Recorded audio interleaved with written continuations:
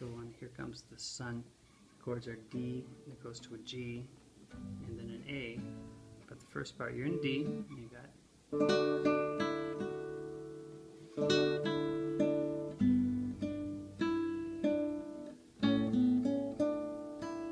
So with your D, you're in the chord, and you go down to the third finger, open on the high string, hammer on to the second.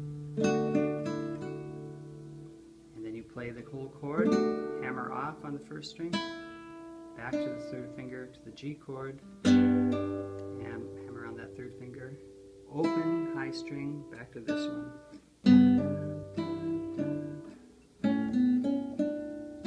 That's in the A.